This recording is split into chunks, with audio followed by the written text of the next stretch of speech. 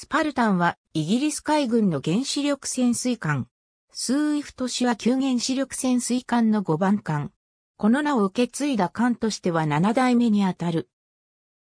スパルタンは、ビッカーズシップビルディングエンジニアリングバローイン、ファーネス造船所で1976年4月26日に起工され、レーモンド・ライゴ提督の妻によって1978年4月7日に浸水し、1979年9月22日に収益した。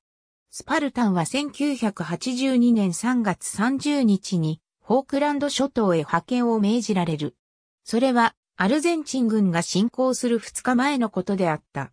スパルタンは島に到着した最初のイギリス艦艇であり、イギリス軍により設定された200マイルの封鎖海域を強化した。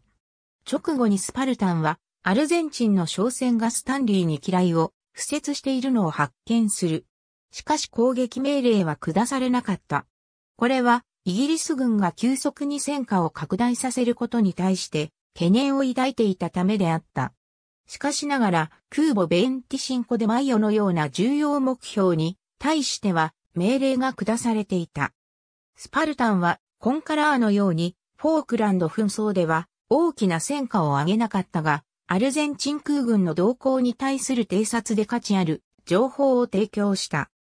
スパルタンの存在はアルゼンチン艦艇が出港することに対する大きな脅威となった。1999年にはトマホーク巡航ミサイルが装備された。スパルタンは2006年1月に退役した。ありがとうございます。